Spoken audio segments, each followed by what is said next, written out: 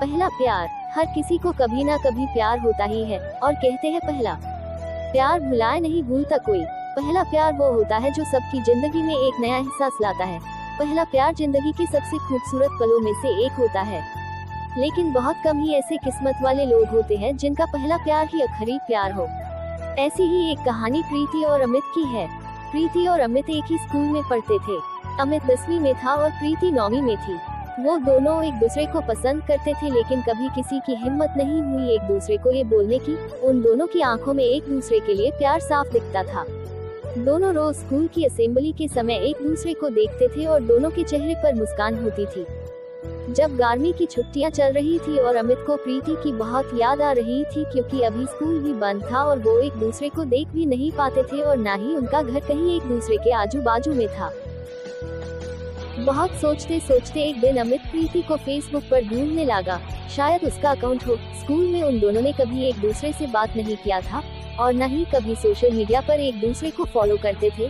अब जो कि स्कूल बंद थे, अमित खुद को रोक नहीं पाया। फेसबुक पर तो बहुत सी प्रीति नाम की लड़कियाँ मिली, लेकिन जिस प्रीति को वो ढूंढ रहा था, वो नहीं मिली। अमित बहुत उदास हो गया। वो बहुत बेचैन हो रहा था प्रीति को देखने के लिए, लेकिन वो कुछ नहीं कर सकता था। उधर प्रीति भी अमित को देखने के लिए स्कूल खुलने का इंतज़ार कर रही थी। प्रीति नौवीं कक्षा में थी तो उसके घर वालों ने उसे फ़ोन नहीं दिया था तो वो किसी भी सोशल मीडिया पर नहीं थी। स्कूल खुलने के लिए अभी पंद्रह दिन बाकी था। वो दोनों एक दूसरे को देखने के लिए बेचैन थे। आखिर पंद्रह दिन बाद स्कूल खुल गया। दोनों स्कूल जाने के लिए बहुत उत्सुक थे।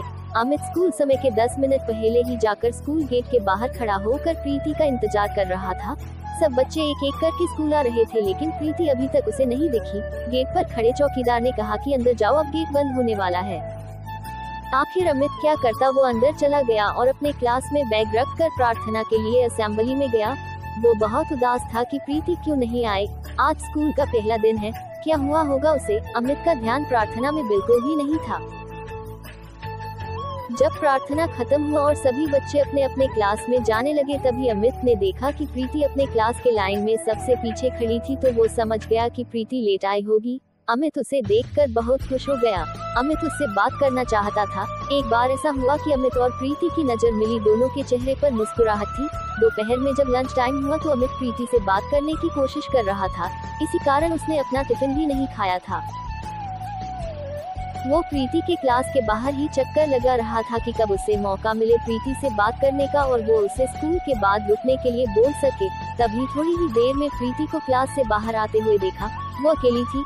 मौका देखते ही अमित ने प्रीति से कह दिया कि स्कूल के बाद थोड़ी देर के लिए स्कूल के बाहर जो बस स्टॉप है वहाँ रुकना प्लीज़।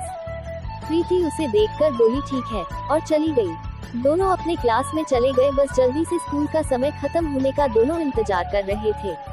प्रीति के मन में बहुत से प्रश्न चल रहे थे, अमित क्या बोलेगा? मैं उससे क्या बात करूँगी? स्कूल का समय खत्म हुआ, सभी बच्चे अपने घर जाने के लिए निकल गए। प्रीति और अमित भी स्कूल से निकले और बस स्टॉप पर गए। प्रीति जब वहाँ पहुँची तो अमित पहले से ही वहाँ खड़ा था। प्रीति उसके पास गई और उसके बाजू में जाकर खड़ी हो गई।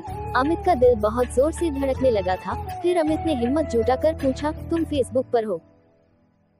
वो बोली, नहीं, मेरे पास फ़ोन नहीं है। अमित ने पूछा, क्यों? तो प्रीति बोली, अभी मैं नौवीं क्लास में हूँ और मेरे घर पर अभी फ़ोन चलाना माना है। अमित बोला, ठीक है। फिर दोनों के बीच थोड़ी शांति थी। फिर अमित ने पूछा, आज तुम लेट क्यों आए स्कूल? प्रीति बोली, मेरी बस छूट गई थी, मुझे देर हो गया। फिर प्रीति बोली, क्यों तुम मेरा इंतज़ार कर रहे थे? अमित थोड़ा मुस्कुरा कर बोला हाँ। फिर अमित ने पूछा, कि अभी तुम घर चली जाओगी तो अगर मुझे तुमसे बात तो हेलो दोस्तों, कैसी लगी ये कहानी का वीडियो आपको?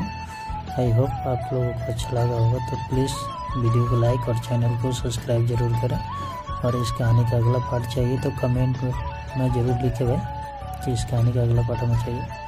ठीक है, मिलते हैं फिर अगले एपिसोड में, तब तक के लिए बाय बाय, धन्यवाद।